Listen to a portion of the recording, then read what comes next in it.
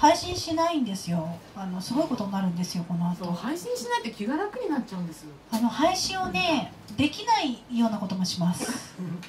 何裸になるとか？違う違う。違ういいね。